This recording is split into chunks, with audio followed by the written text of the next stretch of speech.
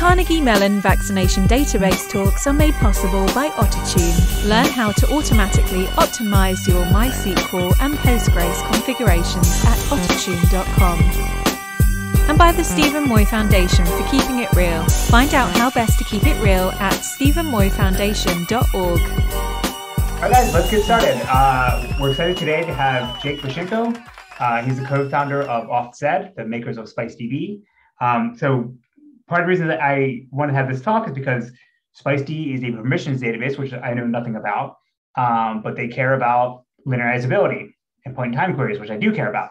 So we're super excited for him to have talk about what they're working on. Um, as always, if you have any questions for Jake as he's giving the talk, please unmute yourself, say who you are, and fire your question at him. And please feel free to do this at any time uh, because you know, otherwise he's just talking to a vacuum by himself, and that sucks. So, Jake, thank you so much for being with us. Go for it. Thanks for having me. Um, hi, everybody. Uh, I'm Jake, as you mentioned, uh, and we are SpiceDB. We're a flexible permissions database for the internet era. Um, a little bit about me. I am the CEO and co-founder of AuthZed. Um, we're building an implementation of Google Zanzibar. I'll cover what that is in a little bit. Um, before that, I worked at a bunch of cool places doing some pretty cool things. Um, most recently, I was at Red Hat came to Red Hat via the CoreOS acquisition and came to CoreOS via the acquisition of our last company, which was called Quay. Um, so yeah, I've been building developer tools and distributed systems for the past 15 years, um, and this is what we're working on now. So you may be asking yourself, why do I even need a specialized permissions database? Um, fair question. So prior to thinking about this problem more formally, um, this is kind of like what people consider the state of the art.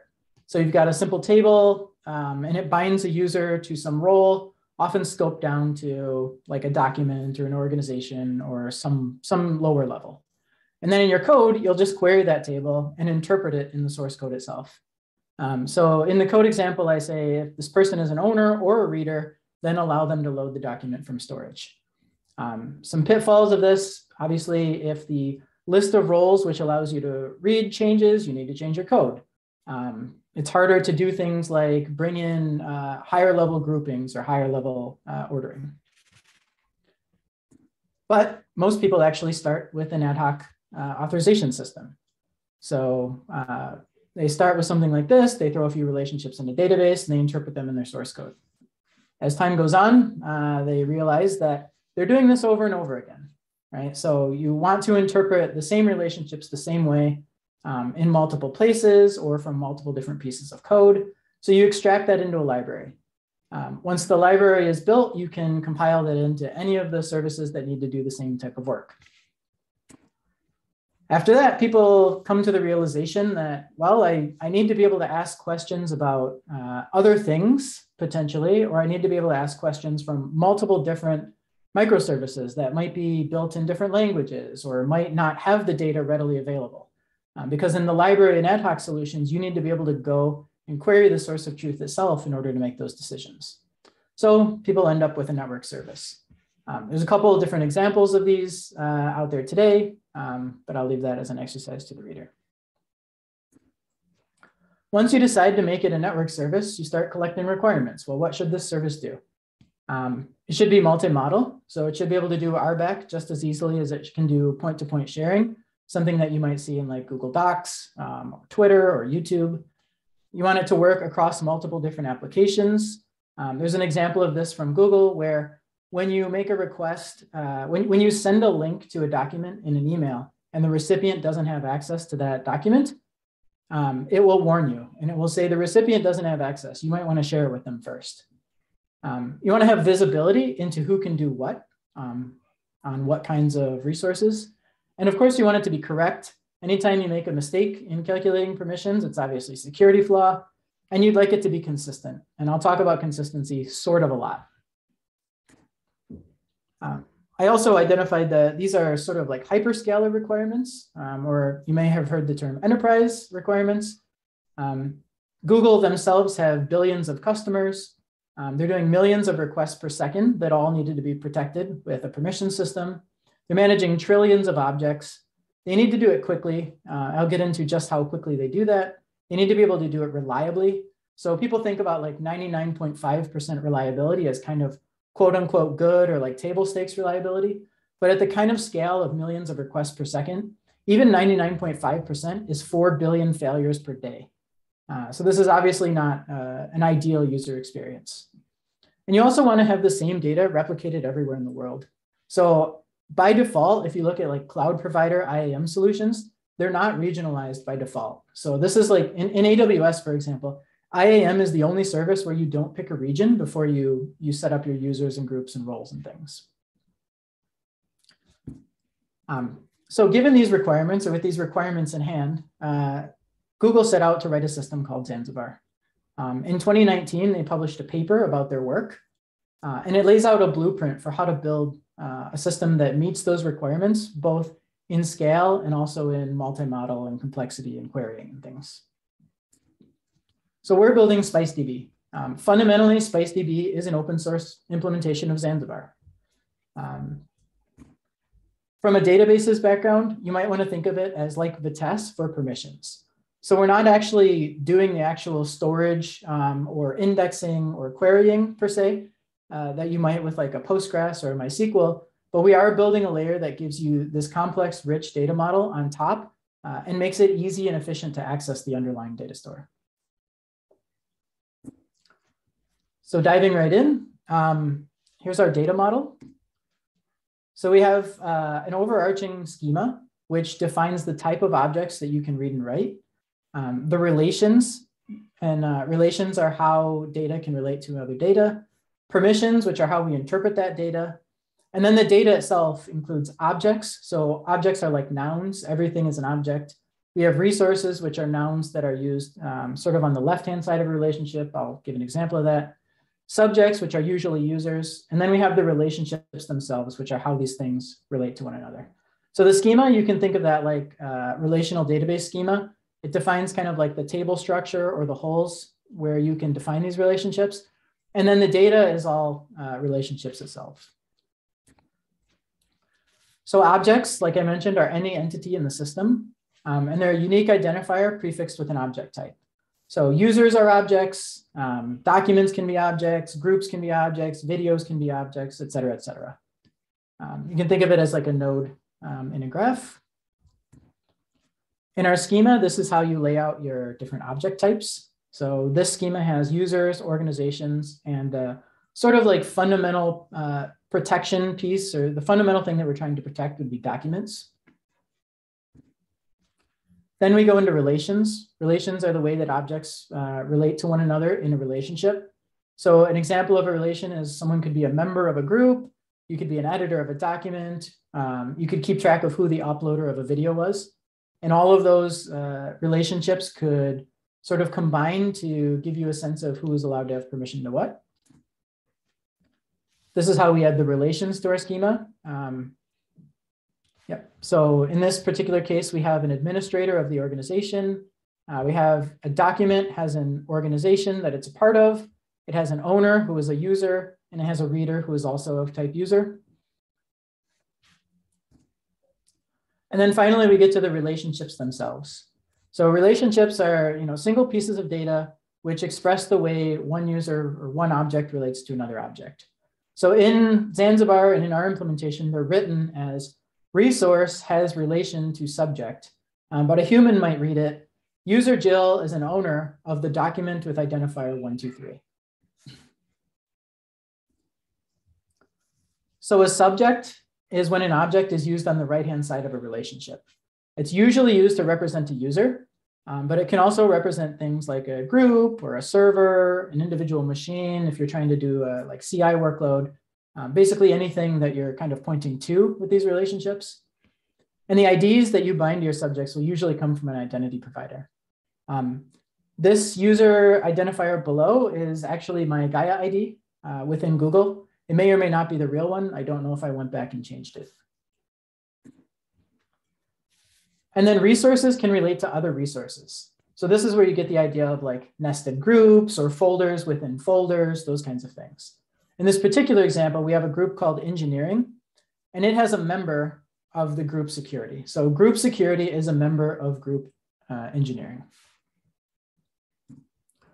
But we can also point to relations on other resources. So this is sort of a similar expression to the one that we just had. But in this one, we're saying that members of the group leadership, and members will often be users, uh, are considered managers of the group engineering. Okay, this is all just kind of like a primer. Um, what are we really doing here with all of these objects and relationships?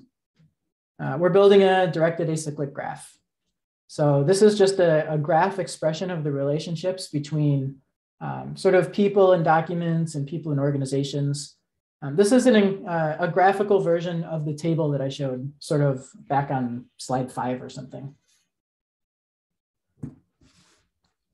And finally, we need to talk about permissions, which is the real reason we're all here, right? Everything before this was just building up to being able to compute permissions. So permissions interpret the graph in order to make access control decisions. So I've added two permissions to the schema that we've been building up. Um, I have the edit and the view permission. The edit permission says that anyone who is an owner of a document or people who are administrators of the organization that the document belongs to should have the edit permission. And then the view permission is computed by saying anyone who is a reader of the document and also anyone who has the edit permission already. So in that case, we inherit uh, the edit permissions uh, downstream relationships when computing uh, the view permission. So if we want to visualize that as a graph, uh, I have these sort of like synthetic nodes added in where we can just say that edit or view kind of point to these other things. Uh, and we can use this to kind of visualize the traversal of the graph. Um, our schema also supports intersection and exclusion, which I thought I would point out because all of our other examples will involve unions because they're easy to visualize and reason about. But exclusions also give you some very powerful primitives for expressing permissions um, in an interesting way. In the top example, I've added users who are banned um, and you can see that even if you were already a reader and would otherwise have the view permission, if you've been banned, that permission has been removed. And then for intersection, this is kind of a contrived example, um, but intersection would be like all users who have signed the license agreement and the users who otherwise have view would be allowed to fork this document, whatever that would happen to mean um, in this particular permission system. So basically when people come to you, like, like, I mean, this sort of setup here is like you, you users have permissions to read, read write. Like I imagine there's some common patterns that like you can always like give someone like a, here's here's like a starter template and they can fill additional things. Is that how people use this, or do they have to write everything all this from scratch? Yep. Um, if you go to our playground, which is just at play.authzed.com, we have a couple of examples that are built in. We also have dedicated blog posts to um, common patterns that we've uh, sort of found from different users who are integrating this. So like one common pattern would be um, having a super user admin. Uh, so then you have to bind all objects to like a platform level object and then make an admin on that platform object. And then you can include that transitively in all of the downstream permissions. So yes, there are definitely common patterns. Um, we do, a lot of people would say, well, why doesn't the user, well, like, why don't I just get a user model for free? Why do I have to define that? And the answer is because not all permission systems even have users, right? You can imagine something that is like completely machine to machine. Or you could imagine something where the users are not the terminus of the permissions computation. So like we have a permission system that we use that terminates at tokens, like access tokens, instead of users. So users are just an intermediate. So it's fundamentally up to like the user to define how all of these things will play for their particular application, for their particular permission system. I guess another question is because like I know nothing about this space. Like, is this you know this definition language you have here is this completely unique to Zanzibar when you guys are building, or like, it, you know, do other systems that sort of barking up the same tree have something their own thing, and maybe maybe the dialect is like, like slightly simple? Like, how should I understand the novelty of this? Yeah, um, the Zanzibar paper lays out sort of like a raw version of this, um, which I'll I'll get to, or I guess I won't get to it because it's very hard to understand. But our schema that is a DSL that we wrote, and we have a compiler for it in order to be able to have a, a DSL to have a language specifically ex for expressing permissions. Um, other, other systems in the space don't use something like this because they're not fundamentally about providing guidance on how to interpret a graph. They're usually policy languages. So for example, like um, OPA uses Rego, which I believe is a, a dialect of Datalog for expressing constraints and then evaluating whether those constraints all come out to be true or false. Completely different paradigm from something that's relationship and graph, graph based. Sound good? Cool. Yep. Um, so yeah, like I said, our schema is a DSL and a custom compiler. Um, what it does is it basically adds type restrictions on the relationships and then compiles, compiles down the permissions to something that gets stored with each object type. Um, the goal here, because speed is one of our primary concerns, speed and scalability, is that we want to be able to deserialize the object type and go, right? So we want to just be able to deserialize it and start interpreting right away. One place where we haven't invested in yet um, are compiler optimizations. So there are probably opportunities to find patterns, uh, common patterns of usage, common patterns where we can uh, basically compile these permissions computations down to something either more cacheable or optimized for on a different metric. Okay, so that's our schema. Next up, we have the API and execution. So our network API is fundamentally just CRUD operations on the relationships and then a few specialized operations that are tailored for permissions. Um, so we have the expand relation, which just gives you the direct objects like one level removed from the objects that you've queried. We have check permission, which is the most important. That's the one that's making yes or no decisions about whether someone is allowed to access something. And then we have lookup, which is the most novel uh, API that we've added um, versus the Zanzibar paper. And lookup is a way to start at the subject and walk the graph backward to get back to the resources that you have that particular permission on. Down below, I have a link to our API. Um, it's a gRPC API, and you can see it on the Buf schema registry. So here's just a quick example about how we traverse the graph to make a permissions decision. Um, so we're trying to see if user Jill has the view permission on some document. Um, I use the same graph from before. Um, and so what we do is we start at view and we, we walk to the various places that we can get to, right? We, we walk to all of the nodes that are downstream of view and see if user Jill appears in any of them. Um, first, we walk reader and we see that user Jill is not a reader. Then we walk down to edit. And then from edit, we go to owner. We find that Jill is. So from that point, we can already make our determination that she's allowed to have view on this document. And we'll also check the admin path to see if Jill is an admin on the organization to which this document belongs. Okay. So the next and super important part about our API is we have this concept called Z tokens. So Z tokens represent a specific point in time. Um, as you can imagine, as you know, mutations are being made to the underlying data and mutations are being made to the permissions themselves. All of this is happening in sort of like an external, externally uh, observable order. And we want to make sure that we can sort of uh, respect that order in order to get that um, consistency guarantee we talked about earlier.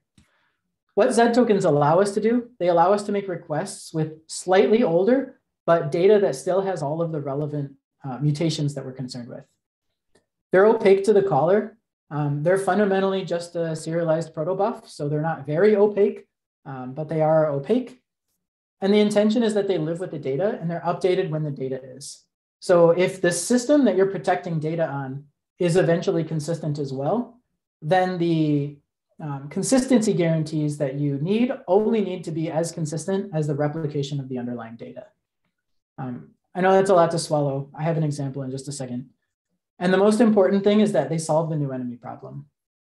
And so what is the new enemy problem? The new enemy problem is when you apply old ACLs to new content or when you evaluate changes to ACLs out of order. So you can imagine if I add someone to um, a band list and then I add them to a reader list in that order, I never want them to actually be able to read. But if I evaluate those out of order, they'll be able to get access to data that they shouldn't have. So just as a quick example, we have a document here called plans. Um, we have two users. One user is called Lex and one user is called Kara. Lex has read access and Kara has admin access. At time T1, Kara removes Lex's reader permission.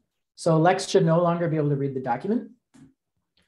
At time T2, Kara uses her admin permissions to add secrets to the plans. So now the plans contain data that Lex should have never been able to see. At time T3, Lex attempts to read, but a stale ACL was used because the data wasn't replicated and we didn't have a mechanism for bringing that synchronization in line. Um, so Lex is actually allowed to see the secret plans. And then obviously he uses the secret plans to cause chaos, uh, as Lexes want to do. so how would this change with Z tokens?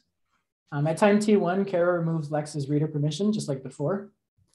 At time T2, Kara adds the secrets and gets a Z token back from SpiceDB. Um, as we mentioned, the Z token is an opaque cookie that represents a point in time. At time T3, Lex attempts to read and a few different things happen. Um, the T2Z token is sent with the data that Lex is trying to read, because remember that token is serialized alongside the data.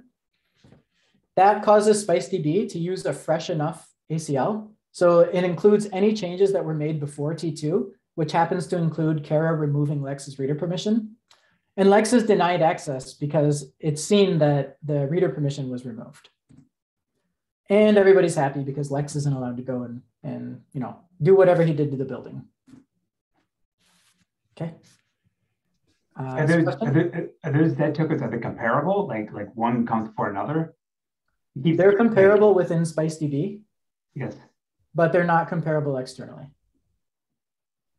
Uh, Alan, you have a question? Yes, thanks very much. Uh, if you could just go back to that example with the, the Z token, please. Um, how do you protect against Lex essentially keeping an old Z token and using that with their request? Um, Lex, you know, yeah. So Lex isn't the one who's responsible for passing Z tokens. So the Z tokens are being stored and sent back to the permission service by the data store that, like, by the the service that's serving the secret plans. I see. So you can imagine you have like a plans backend service with a get API. That itself is the one who's sending the Z tokens. Okay, thank you. You're welcome. Yeah, the, the cookie, we went back and forth on whether to have any association with cookies because cookies obviously have a meaning on the web, right? There's something you give to a user and a user gives back to you. Um, but in this case, they're slightly different. They're for backend to permission service synchronization or, or causal ordering. Okay, so diving into the architecture and implementation, uh, this is going to be a little bit of an eye test. Um, but what this is, is this is how all of the major source code components relate to one another. Um, over on the left, we have where the requests come in. We support both a, a REST API, but the primary API is actually a gRPC API. That gives you access to the CRUD operations against relationships and schema those CRUD operations, I mean, they go through a bunch of other uh, validation and uh, comp compilation machinations, but fundamentally they, they are talking directly to the data store. So they don't go through any kind of interpretation um, like the permission specific ones do. In the top, in the red, blue, and green uh, boxes, we have the permission specific APIs. So check permission, that's whether you where you find out if someone is allowed to do a thing to a resource. Expand was loading that next level of uh, the graph. And then lookup was the reverse graph walk. Those get sent to a dispatcher. The dispatcher determines how to actually solve those, those questions, those queries that the user has made. Um, they send those out to specialized version of the dispatch API, which then will often send the request onto another SpiceDB node uh, that we hope will do a quote unquote better job of answering the question. Uh, and we'll talk about what exactly makes it a better job in a few slides. The data store here is shown talking directly to CockroachDB, but it is an interface um, with multiple implementations and a few others under active development. Uh, so like I said, we can sit on top of CockroachDB. That's sort of like our preferred open source default because it's globally replicated. Um, but we also support like Postgres, we have an in-memory driver, and then a few more uh, in development. What, what component in this diagram is giving out Z tokens? Um, the API itself, the, the gray box bar on the left, there's a middleware which basically calculates what timestamp this request is being served at, and then gives that back to the user. So for a given organization, do you have to go through a single gray box? Go through a single, uh, no, no. Um, it, it's, it's relying on the downstream data store implementation to give us a sense of absolute time. So in Spanner, absolute time comes from the atomic clocks. In CockroachDB, they have a hybrid logical clock, which untangles it all. In Postgres, we have a custom um, MVCC implementation that has a transaction counter that's monotonically increasing. So that one is sort of the most single point of failure of all of them. Uh, but any of the gray boxes can talk to the data store and get its sense of now. And often they don't even have to talk to the data store to pick a timestamp. And I have like a whole example about how timestamps get picked um, in just a few slides. Okay. Um, just a few more implementation details. So like I said, we are a gRPC API primarily.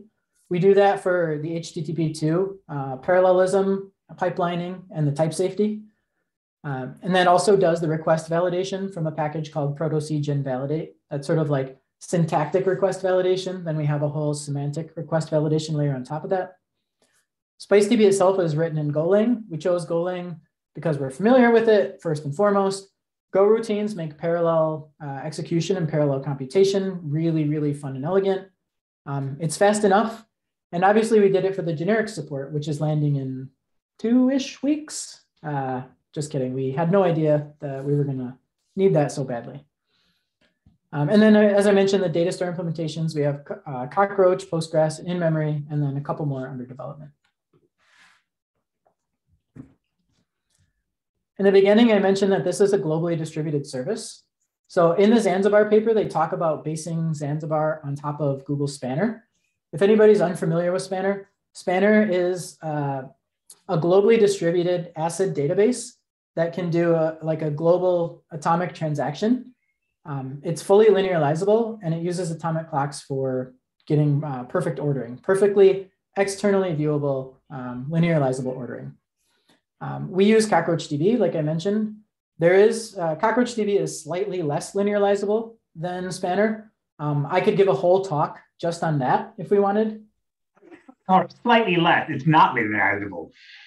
It is not linearizable. Um, their mantra is no stale reads.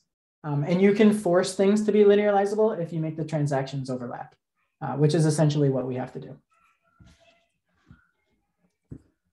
Um, because CockroachDB and Spanner are derived from sort of the same uh, underlying principles for how they distribute data, we can use Spanner performance as a proxy for what we can expect out of CockroachDB.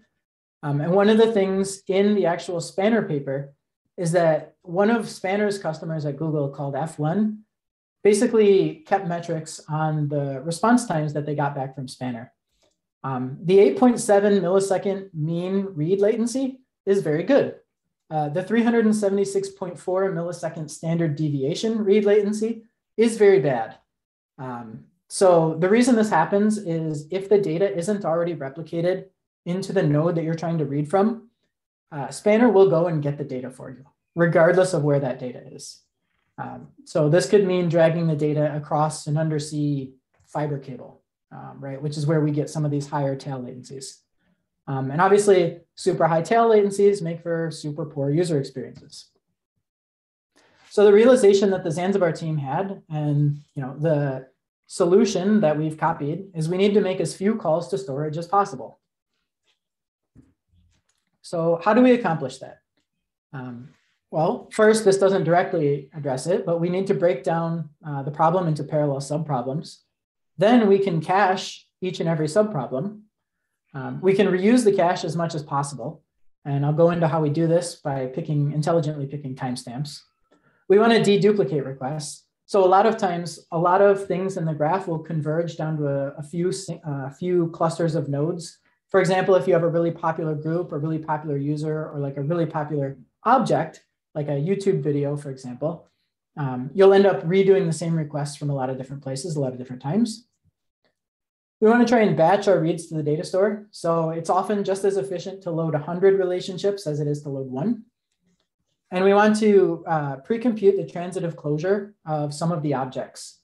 Um, we do that through a system that's under development called Tiger Cache. Uh, it's not available yet, The Zanzibar paper does it through uh, a system called Leopard, which they only use for groups, as far as I understand. So group groups of groups, groups of groups of groups, things like that. All right, so I'm gonna walk through an example of how we break a problem down into subproblems. Um, this is pretty straightforward. So the top level question that we asked before was, is Jill, can Jill view some document? Um, this is fundamentally a union of a few subproblems. So one of the subproblems is Jill directly a reader of the document? Um, we can evaluate that and say that no, Jill is not. We can evaluate another subproblem, which is does Jill have edit on some document? And that itself is another union. It's a union of whether Jill is an owner of the document, which of course she is. But then the other branch of the edit is, is Jill an admin of the organization that the document belongs to? And of course she's not.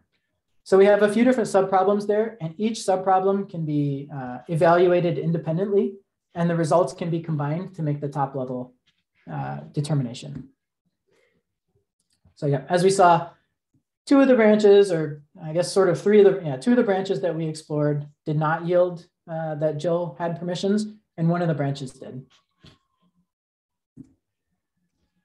Okay, so one of the ways that we can improve our cache hit rate, um, remember we talked about nodes distributing requests and sub-requests to other nodes, as we can pick nodes that are already likely to have computed the answer. So we do this by putting all instances of SpiceDB in a consistent hash ring.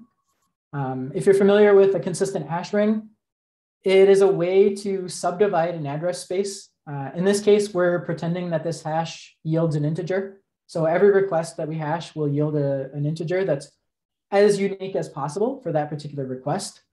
Um, and then the address space gets subdivided and things that map to portions of that address space get sent to the nodes that have claimed responsibility for it.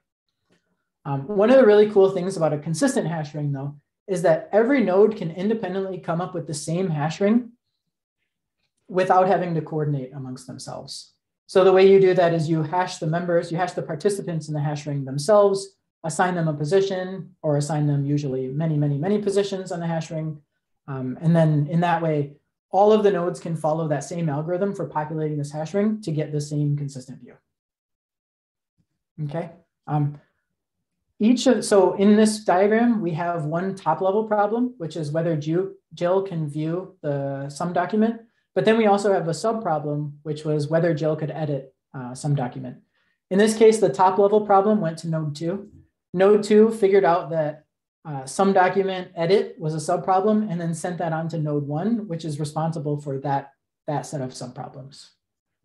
Okay, um, I'll pause here in case there's any questions. I imagine a lot of people are familiar with consistent hash rings, but just in case. All right. so that's just one of the ways that we want to uh, improve cache hit rate. Um, the next way is we want to actually recognize that at any given point in time, decisions are actually immutable. So if we say that before, you know, at time T1, if we computed that Lex had permission to read the document, any any permission that we evaluate at time T1 will always return uh, that Lex does have permission. Then we want to pick timestamps that already have globally replicated data. So this goes back to that spanner, that uh, standard deviation that we saw of 370 some milliseconds. We want to try and pick uh, timestamps where Spanner is confident that the data has already been replicated everywhere that it needs to be. And finally, we want to pick timestamps that can be shared because if everybody were just randomly picking times, uh, they would be very unlikely to pick the same time, and therefore we would be unable to reuse the same decisions. So here's a diagram of how we do that.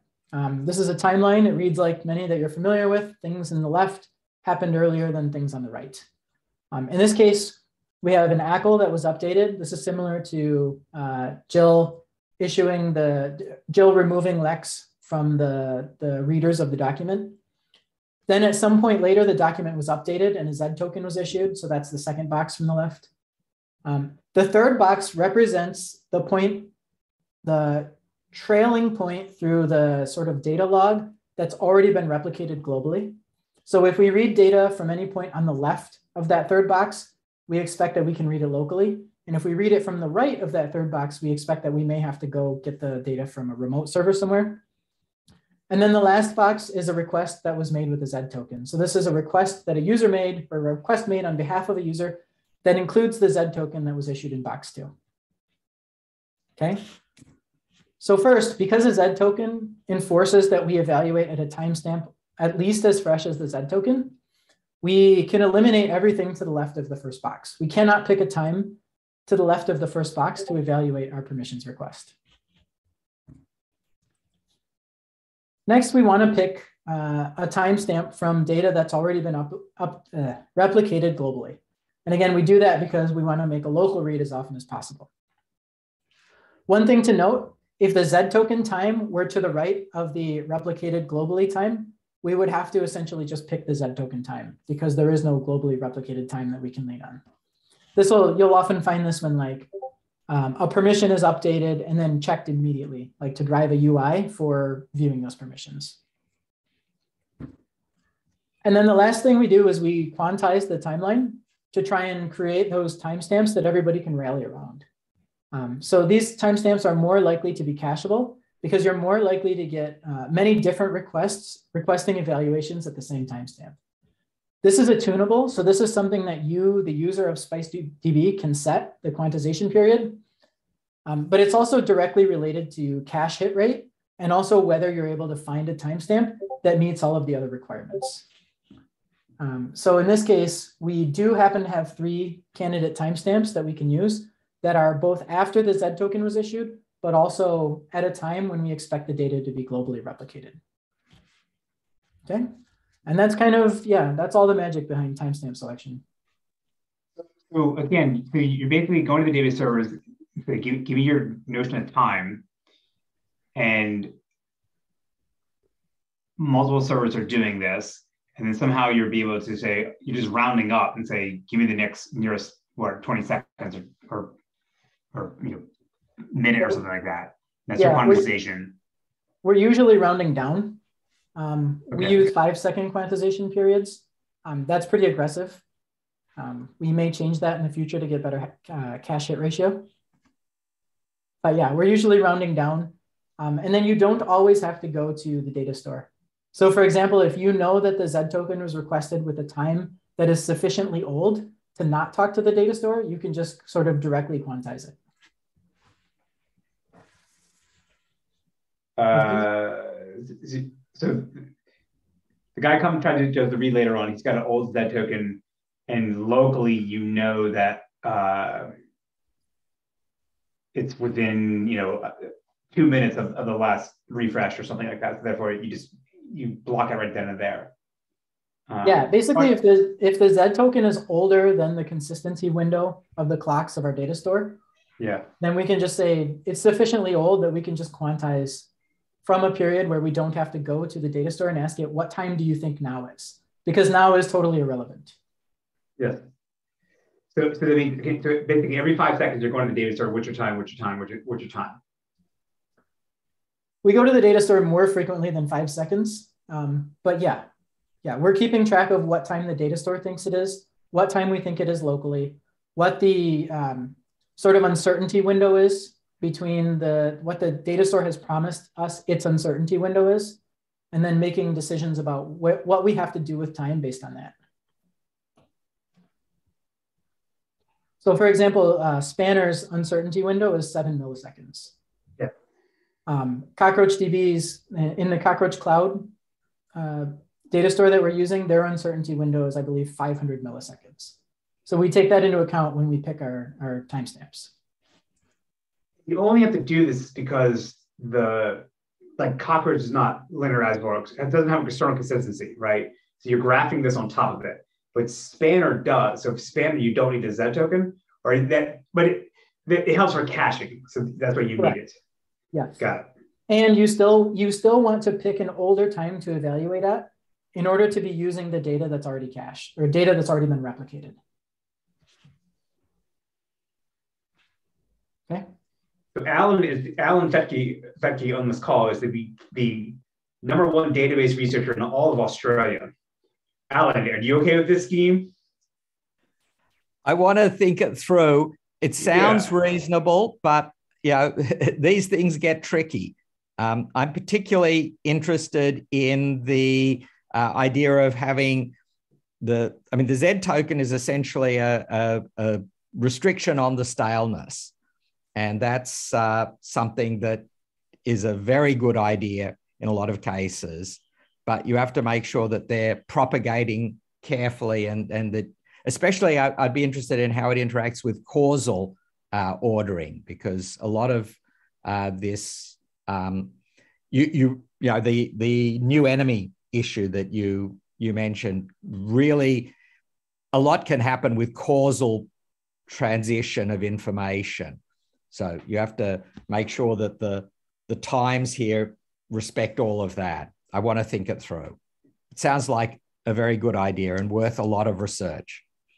So the the thing that's sort of novel um, is that a lot of distributed systems start with something that's eventually consistent, and they layer on consistency, right? Like they they layer on things like cookies and tokens to raise their consistency, or they do like quorum reads, for example. Um, Zanzibar starts from Spanner, which is already linearizable, and adds this mechanism as a way to improve performance. So it's starting from a much like a much safer posture and then relaxing that to get better performance. Um, so it's it's not saying like I'm going to try and make a determination on my own. It's just saying I'm going to use a consistent snapshot view of the database at a time where there are some external guarantees. On Alan. Alan is the number one transaction expert in the Southern Hemisphere, not just Australia. So, okay. Yeah, that's, a, that's definitely a small set. You're underselling stuff. All right. Sorry, Josh, go, or Jake, go for it. Cool. Um, all right. So I guess we should talk about how we've done with this whole system. So we've got uh, some real world performance measurements that we've made against uh, authzed.com, which is running SpiceDB in the back.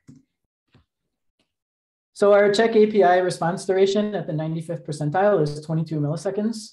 Um, 20 milliseconds seems to be a good goal uh, for, for these things that are parallelizable by default. You can make many check requests at once. Uh, so 20 milliseconds is a nice user sweet spot because that's going to get added onto any other latency. Um, our API availability, it says 100%, but obviously nothing's ever 100%. You'll see there are some little dips in the graph where we go down to like 99.993%, things like that. Um, these are all uh, publicly visible at our dashboard on status.authzed.com. We've talked a lot about cache hit ratio.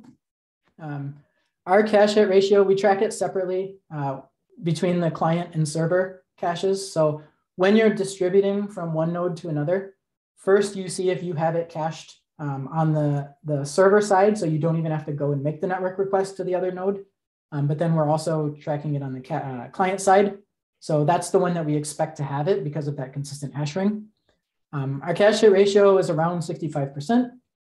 We think we can make this better by getting a little bit less aggressive with our quantization periods um, and through some other tricks involving uh, compilers on our schema. But we don't have to evaluate these metrics uh, in a vacuum. Zanzibar was uh, nice enough to publish some metrics in their paper.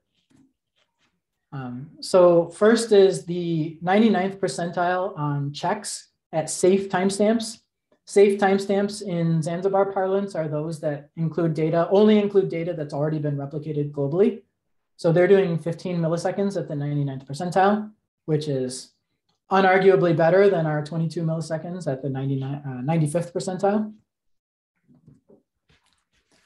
Zanzibar's availability over the past three years has remained above 99.999%.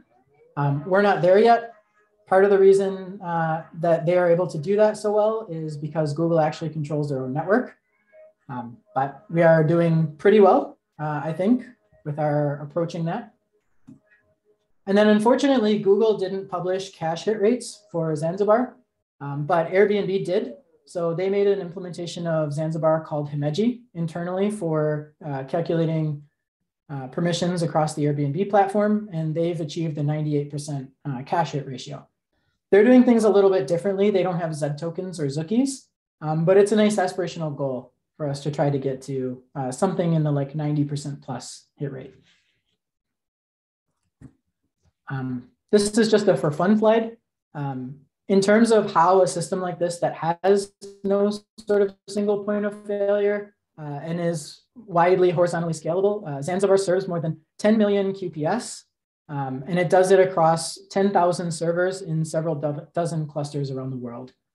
Uh, we are not there yet, uh, but we hope to. Right? We hope to build a system that can scale to those kinds of heights. All right, uh, and that's SpiceDB. Just as a quick recap, uh, we're ushering in a new authorization paradigm for people outside of Google. Uh, it's relationship-based rather than role-based. We put the data and the schema together to give you that consistent network view um, that multiple services and multiple applications can all sort of rally around and put together. Uh, we want scalability before expressibility. So if you do a system like the policy evaluators that are built on top of Datalog, that's great. And you can express some really amazing things in those systems, but you're probably not going to get to 20 million QPS, um, at least not with the same sort of ordering guarantees that you get with Zanzibar and with SpiceDB. Um, and yeah, there's always room for performance improvement. So we've seen how some of these other implementations are doing out in the world, and we want to get there. And that's all I've prepared. So thanks for watching. Um, this is a link to our Discord. Our Discord is where we talk about development with the community, uh, where we do some of our planning. It's where users help each other out, um, things like that. So I encourage you to join uh, if this is interesting from a implementation or a contribution perspective. Okay, Any awesome. questions? Okay, I, I will applaud that for everyone else. Uh, we have plenty of time for questions. Alan, go for it. Actually, a question not connected with the transactional consistency type topics. Um, in the part where you were indicating how you evaluate, for example, if Jill has access, essentially by looking at the downstream of various nodes and intersecting those things. Um, Yep. What what happens when you have a query whose evaluation requires negation in that? So you know, you mentioned the one of somebody who, you know, if if they're banned, they must not have access no matter what. Um, how do you do this eva- sort of evaluation? Because simply looking downstream and finding the union of all the downstreams isn't good enough. Wait. Um, you wait for all of the other branches that can possibly negate it to come back with their answers before you make your final decision. And that can happen at any at any point in the tree. Uh, you can have to wait, but often you can still make your decision before you get all of the downstream answers back. So, for example, if it's an exclusion and the banned branch shows up right away, and you find out that this user is banned, and there's nothing that could sort of reverse that decision anywhere else in the schema, you can say, nope, not happening, right? Um, similarly for intersection, as soon as one branch completes and that user is not on that side of the branch, then you can return, there's no possible way the other branch could make this evaluate to true. So we're returning now. Doesn't that require a lot of clever, um, essentially compiler analysis of the the structures of the the formulae? Um, not really. Uh, so the way this gets compiled down is the permission would essentially say, this permission is the exclusion, is what we call it when it's a, a set difference. This is the exclusion of this base set and these other sort of operands. Um, and when you have that exclusion, you just send out the subproblems for the base set and each individual operand. And as the data comes back in, you just make your determination upstream or not. And the hope is that all of those things will be cached, or many of those things will be cached, because the subproblems themselves are, uh, you know, they don't change; they're immutable. Thank you. Even go for it. Hi, my name is Stephen. Thank you for the talk. Um, on the question of resolving, for example, on the Google Docs example, whether someone can access the document, let's say on the viewer permission. And oftentimes in Google Docs, there's the concept of groups. So you can be a member of a group, a group can be of group. In this arbitrary deep tree, does your system actually bound the resolution time, whether I'm a member of a group that have access to the document, um, just using Google Docs as an example, or do you actually pre-render some type of bitmap so you can control the bound of your resolution time? Great question. Um, as of right now, we do not bound the resolution time. So we want to give you a correct answer. Um, actually, I take that back. There is a boundary in our authzed.com uh, version of one second on all requests. So after one second, we'll tell you we just don't know. It's too complicated. Um, but we will never give you, like, we'll never say that, oh, maybe, or like, yeah, go ahead, go for it. Um, so we'll tell you we don't know before we tell you like a wrong answer. However, the Zanzibar paper and um, a thing that we're working on does actually handle the nested group problem. So that was the pre-computing the transitive closure of objects. So when groups belong to other groups and those groups themselves belong to groups, you can actually go and you can say for this top level group, what are all of the, the sort of leaf objects that belong to this group transitively? And you store that denormalization to turn this sort of like uh, nested serial data store back and forth to something that is, is denormalized, done ahead of time, and then you just have access to that data when you need to make the query. I see. The thing, we're, the thing that we're working on is a system called Tiger Cache. Um, and the Tiger Cache will allow us to compute that, and it will allow us to also yield a, um, excuse me, a roaring bitmap, which is essentially a way to, uh, I probably don't need to explain it to this group, but it's a way to export um, essentially a database index from one database and put it into another and use that as sort of like um, a conditional on your query. I see. Um, for example, like in the Google example, because there are so many people ops operation, you have people joining Google, leaving Google, and you have a, let's say some entity document that is controlled by, oh, you have to be a, uh, some Google internal groups won't that be very busy for your cache? Because you always almost like, oh, like Monday morning every week, there's a bunch of activity. You have to keep recomputing the the pre-render bitmap such that you can resolve the the membership correctly. Yeah, um, so it's actually much worse than that um, because this isn't just for Google internal systems. This is also for like, you know, Google Docs, Google.com Docs, right? So you know billions of people in the world interacting with Google Docs, uh, or at least YouTube, maybe not Google Docs. Um, but yeah, you're right. So what they talk about in the the Zanzibar paper, they have the leopard system that does this transitive closure, and they say that a single write, uh, a single relationship write to Zanzibar will often manifest itself into tens of thousands of writes against that denormalized cache. So yeah, it's a it's a Google scale problem. Cool. Thank you. Paul, do you have a question? Yeah, I guess a few few questions. Thanks for this talk. It's quite interesting. We don't uh, see papers on this topic in database conferences as much. So um, I guess one question I had was similar to what Alan said. What happens if you end up with a conflict, right? Like with the with the exclusion that like under the reader role, for instance, you end up with a negative constraint or negative rule. But then under admin, you end up like there are two paths to that same permission, right? Uh, either through as a sort of a direct association with the document or through like a group, And can such a situation arise? Like I'm not quite sure how you would resolve conflicts like that. Yeah, absolutely. So th- that that happens all the time, um, and the way to resolve it is let me see. In the schema example, yeah. So these things have an order, right? These operations have an order. Um, so for in this example, you have a path, like in the exclusion, you can be banned or you can be a reader, right? The way this gets compiled, the subproblem of whether you're a reader gets evaluated. And then the subproblem of whether you're banned gets evaluated. And if you are banned, then you are subtracted from the group of readers, right? That's the way to read this. So similarly, there needs to be a convergence point for any permission where your permission gets uh, aggregated under a single named permission. It's usually something like view, but in the, in the admin case, right, like if you were an admin, but you were also banned, it would just depend on where admin was brought in, whether it was on the left-hand side of the exclusion or on the right-hand side of the exclusion. But I'm wondering about a situation where I have something like this, where through a direct relationship with a document, I'm in the banned mode, but I also have per admin permissions with the group that has the same permissions to the document.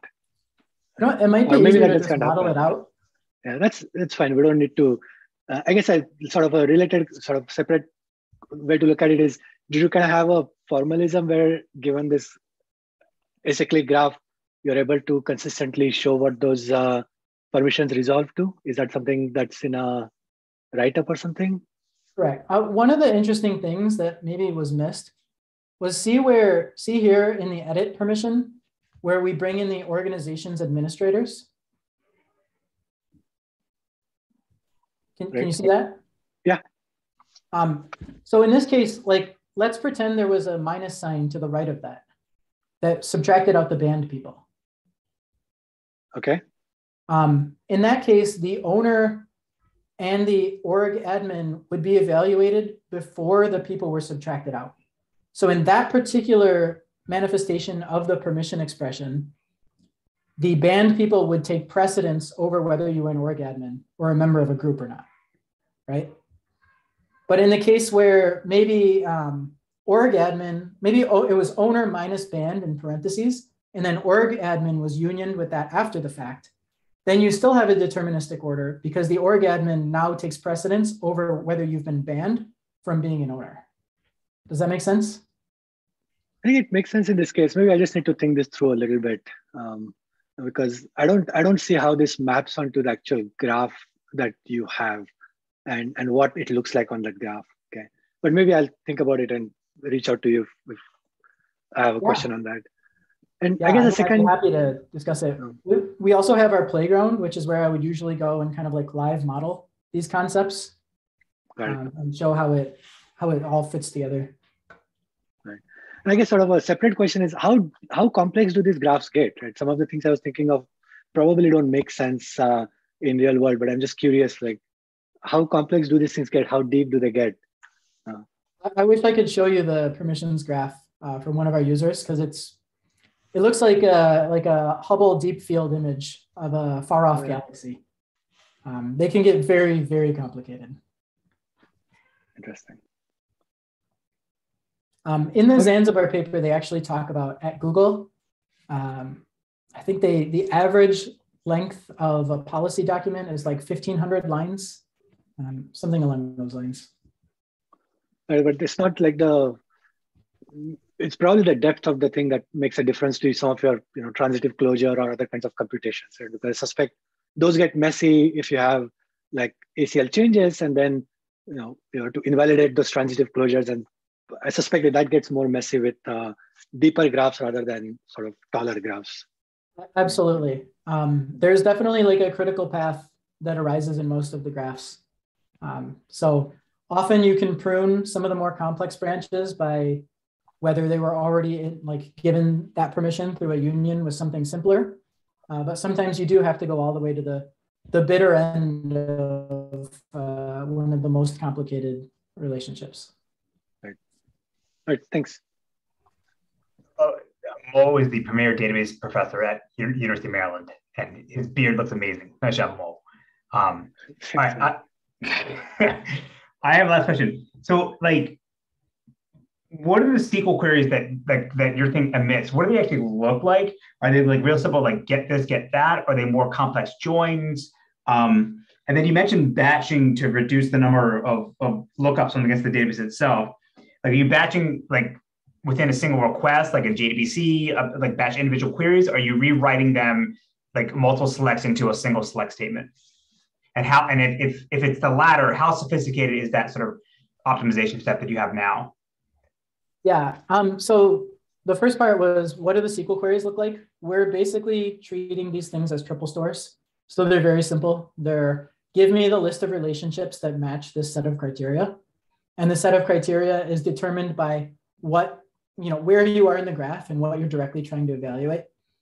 Um, the batching, we do some very naive batching where we put separate SQL queries together in a sim, uh, like a single network call, um, the, uh, the, we're not using SQLX, what's the, we're using PGX, which is a library for Postgres um, for talking to CockroachDB. And PGX has its own concept of batches where you can basically make a single network round trip. Um, that didn't actually save us very much. Um, the batching that we do is like we will load more relationships than we need if we think it might be useful for a different part. Um, but this, this is all actually like very naive at this point, um, and probably a lot of room for improvement there.